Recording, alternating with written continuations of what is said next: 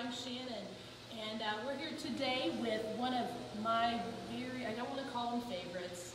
Um, I have a lot of animals that I work with as educator here at the zoo, um, but this is Tiki, and Tiki is one of the very special animals that we have here at the zoo. She is a ball python. Um, she lives here next door to her twins, well, her clutch mate, can't call them twins. Um, her clutch mate, um, Tiki, oh, sorry, Ronde, sorry, this is Tiki. That's Ronde, I got confused. Um, the great thing about these guys is that, I just think it's so neat, that they are actually the oldest animals in the zoo. Uh, we think about some of those animals that live a long, long time being the older animals here, and some of that's true. But these guys, these two ladies, are the oldest animals in the zoo. They're 38 this year. So I know some of the questions are going to be, what is the lifespan of a ball python? Well, somewhere between 30 and 40 is very typical. Um, so they're getting very close to that top range, but they're in great health, really good condition, really good health, really great attitudes. So ball pythons, they come from Africa. They're from the rainforest of Western and Central Africa, just above the equator. If you look on the map, you want to do some geography today with the kiddos check out the map and look at those countries Western Central Africa, and you're going to find the places where ball pythons come from. So if you check out the markings, that's what I love about these guys. They have terrific markings. Um, in fact, some people call them ET snakes. Now, Ronde's are better than hers are, gotta say. But if you look at the markings that they have, this is one that's pretty decent. It looks kind of like ET's head with the eyes and the shape of the head. They're also called royal pythons. That's the name that was given to them because actually some of the royal family um, in the areas where they come from would wear them as bracelets, like I'm doing right now. They'd wear them as jewelry, put them around their, um, their arms, uh, maybe their maybe their necks, which is not a wise thing actually to do, but they make beautiful jewelry. Um, part of the reason that they could do that is just simply the temperament of these snakes. They're really docile, they're very chill. Um, they have just an easygoing temperament where they relax, they just are interested in and very curious in a lot of different things. So that makes them very, very um, useful for program animals. They're really wonderful. They love to be involved. And so she's just kind of chilling but exploring. You can see her head's going here and there and everywhere, smelling what's been on my shirt. And I know she wants a walk. Well, we use that term. But we're going to put her down here on the floor. I'll unwrap my hand. She gets a little, a little excited and wraps around so that I can, uh, I can do some work getting her off. But here she goes. I love watching snakes move on the ground. Without legs, it's incredible how strong they are. We have to um, understand that there's bones in there, lots and lots of bones. They only have a few types of bones though. They've got a skull, they've got a lower jaw, they have vertebrae up the back, so that's their spine, and then they have ribs. That's really it. Obviously no leg bones, no feet bones, anything like that. Um, and the rest is organs and muscle. You can see by the size, by the, the girth of her, that she is very strong. These guys are very, very strong. Um, they only grow up to be about four feet long, and that's roughly what she is, um, average size.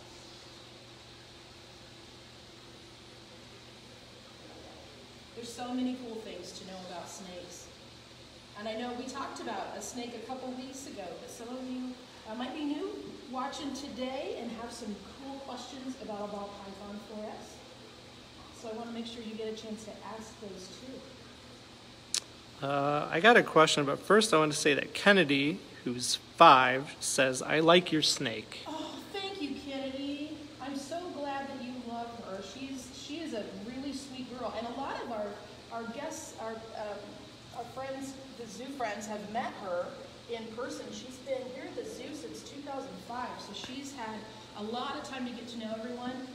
She's one of our Master JZK's favorite animals to take out for our chats at the Rainforest Theater to meet folks. So um, a lot of you probably met her, or there will be the chance at some point to be able to meet her again. And you said she's about four feet long, right? She's about four feet Yeah. long. Um, Grace's mom is watching as usual, and she wants to know the difference between um, a ball python and a reticulated python. Ah, very good question. Well, the python family of snakes is really very similar. They're very similar in structure, um, their, their head shape, their proportions. Um, so if you take this snake and just blow it up, ginormous, uh, to, well, in our case, um, 19 feet or so, uh, ball python, or uh, reticulated python, that's basically what's going to happen. Um, they're very, very similar. Um, they obviously are going to eat similar things in, in that they're carnivores. Um, these guys are going to eat smaller prey than a reticulated python, obviously. Uh, but their structure is really very, very similar. And even their activity is very similar. They're both um, primarily ground dwelling, although snakes are great climbers. With the, the muscles they have, the strength they have, climbing is easy, so they, they will do that. But you can tell um, the reticulated python and the ball python have that dark coloration. They're, they're really modeled uh, with the dark and light colors, which is great camouflage on a forest floor. So if you think about a rainforest and put them the, on the ground with the leaf litter and the branches and all those things that they can hide in, it's going to just match. So they're going to be very difficult to find. And even if they're climbing up into the understory on the lower branches, they're going to be difficult to see. Um, so that type of coloration is really useful for the pythons that live in a forest area. So you'll even see that similarity between the two. Yeah. And pythons are, are actually very, very closely related to boas as well. So we have, um, it, and honestly, it's a lot of it's the differentiation is, is simply by geography. So you're going to find pythons in the old world, which would be the eastern hemisphere. You're going to find, and that's a that's primarily, and you're going to find boas or the so snakes named boas over in the uh, the western hemisphere, North and South America. Right. So these are African.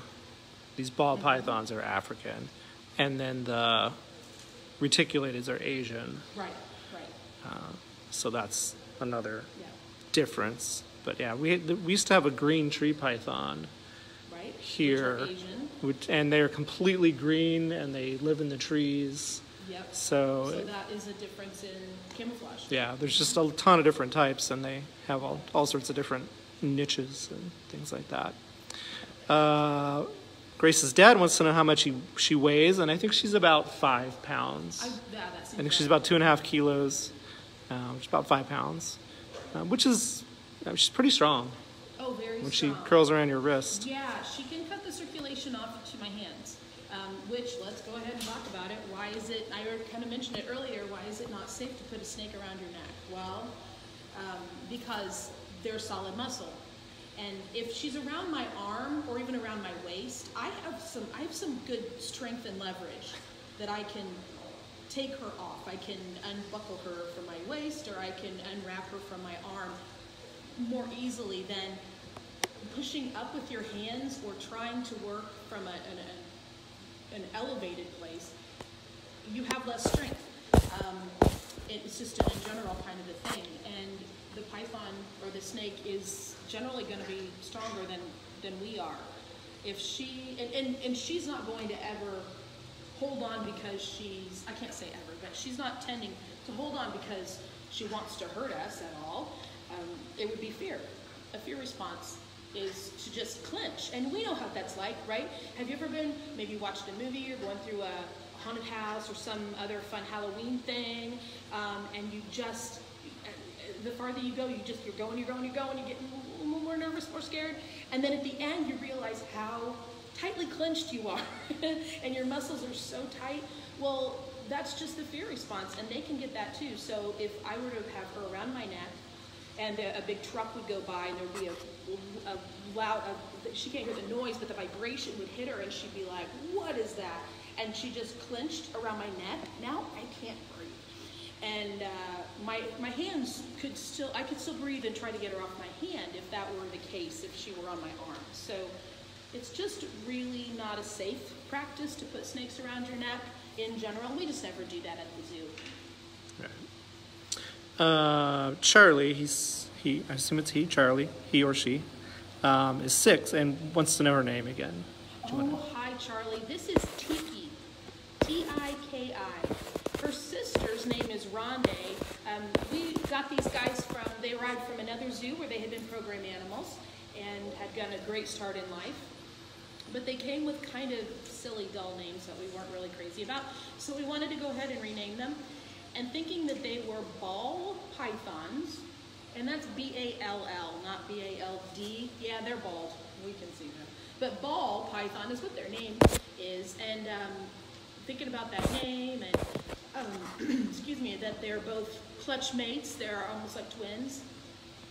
We decided that we would name them after the the Barber twins of pro football fame. So Tiki and Rondé Barber are their namesakes. Uh, she, they are, anyway, whichever way you want to go with that, direction-wise. But that's where we got the idea. Um, they're called ball pythons because when, like all snakes, when they are sensing fear, they will coil up. Um, snakes just want to be small when they are in a, in a place where they feel threatened or fearful. So they're gonna they're gonna constrict up. They're gonna be in a tight little ball. But these guys can be in a very tight ball. They can just completely mash themselves up. And then they'll put their head right in the middle of that of that ball that they've made. Let's move around a little bit so she stays in our zone. There we go. She's all about the explorer. And that's why they're called ball pythons, because they will just appear like as a ball when they're threatened. We have two similar questions uh, from William and Ricky. Um, how long does it take to reach full size, and then do they continue to grow until they die? That's a great question. Um, generally, a snake this this size, when they get to be, I would say ten, is usually when they get to be their really their max size, roughly. Um, and it is true that they never stop growing. With reptiles, that just is the case. They, they have a, an adult size, but they don't actually have a maximum, true maximum size. Um, now, when they get to be adult size, they're not going to continue to grow great lengths. Um, it's just not going to happen. So if we were to, um, if Eric were to feed her extra food, she's hungry, she wants to eat, then um, as an adult snake, she could grow an extra inch a year, maybe then go into millimeters. um, it's really not not too much of a difference, but technically they still can grow. It just depends on the amount of food that they Yeah. eat. A lot of people think it's about space. It's definitely not about space. If you keep her in a small tank, she will not stay small. She's going to she's going to be that four foot long snake that you see here, no matter what size her tank is. So we have to make sure that her home is is adequate and, and adequately sized for for how big we know they're going to get. That's, that's one of those misconceptions about reptiles that people people have. Right. And if we keep feeding her and keep feeding her, she might grow a little bit in length, Yeah, but she's definitely going to get fat, that's right. and um, they're going to just they're going to be a ball python in a different sense because they'll be pretty round. Uh, Kelly wants to know what they eat. Ah, well, these guys are fed rats. Um, how many rats do they get in their feeding? I give these two because they're full grown and we don't they've been overweight in the past. I give them one medium-sized rat every 3 weeks right now. Okay, very good. Well, snake, it's nice to have the, the food guy right here to answer our questions about it, what they're eating right now. Um, they, this kind of snake is all about the, the furry and the feathery. They like to find food that's got some heat in it, so the, the warmth of those bodies, um, those endothermic animals, you might have heard of warm-blooded endothermic is the scientific term, and um, they're gonna, they, they find that, that heat and that's where they, what they wanna eat. So smaller animals that are furry, birds, they would they want to eat that stuff. That's that's their primary food source out in the wild. So here in the zoo, a rat will replicate that really nicely. Um, and And they only eat every three weeks, and, and snakes in general don't, don't need to eat very often. Reptiles, um, depending on what kind they are, don't always need to eat very often. And the reason for that really is that they don't create their own body heat. They're not endothermic. They're what we call exothermic or ectothermic. And that means that they get their heat from their surroundings. They don't control their own body temperature. Internally, they have to be in a warm place to be warm and a cool place to be cool. So she is right now, her internal temperature is the same as the air around her. So it's about 72 degrees in this building, so that's her body temperature. Um, because they don't create their own body heat, they don't use as many calories. Most of the food that we eat goes straight into making our, our internal temperature what it is, keeping it at 98 degrees. So uh, 70 to 80 percent of what we eat does that. So if you think about taking away 70 or 80 percent of what we eat, that's what reptiles really need to consume, especially if they're carnivores. That that is good um, good energy that they're eating. It's not wasteful energy. So um, they don't need to eat as often, simply put. They only need enough food to get calories to move around, to get energy for moving around, and for their organs to be working, and for growth. So they just don't need to eat as often. Uh, Charlie and April, they've been watching a lot and asking a ton of great questions. They're wondering how many pythons we have at the zoo. Oh, well, let's see. We, uh, we just have the three pythons at the zoo. We have she and Rondé, Tiki and Rondé, and then we have the reticulated python. Um, oh, and we do the Timor The python. Timor, yeah. about the Timor. So we have four pythons right now. Currently, Timor, yeah. he's so cool. He just looks completely different than these guys. He's not got spots. He's just got more of a solid color, but he's very shimmery, and uh, he's cool. He's Yeah. really. The Timor we had out when we did the reticulated python. Ah, nice. Um, video. That was a long time ago, but that's on our YouTube channel and then way back in our Facebook page. So all of these talks that we've done, all the talks that Shannon's done, are still they're on our YouTube page, on our YouTube channel, and then they're on our Facebook page. So you can always go back. Um, Bryson, who's 11, missed the beginning. He asked if we can hold it. Oh, well, we can, yeah, absolutely. And she really likes to, um, to, feel our skin, feel our clothes. She gets really into that. Textures are a big deal for snakes. It's one of their great enrichments is textures. That's what she's been doing with the carpet, kind of tickling her belly on it. Um, but she, yeah, she's very docile. She's one of our program animals, so we take her lots of places, um, introduce her to lots of different people. She loves a back rub. Gets really excited when she gets to come out. And then Bryson Austin wants to know how often they molt. Oh, what a good question. Well, that's, I was hoping to introduce you to both of our ball pythons today, but her sister Rondé is getting ready to shed, so um, she doesn't want to be handled right now. Um, these guys, they shed their scales um, three to four times a year. So every three or four months is when they're gonna shed. Um, she just did, Tiki just did, so she's got fresh scales on. When they're young, they're shedding um, as they grow because the scales that grow out of their skin do not, they don't grow with them. It's just like us in our clothes. So when you grow out of your clothes, you have to give those to somebody else and get some new ones, right? So uh, same thing happens with these guys, except they don't go to the mall or the thrift store. They just have to make their own clothes.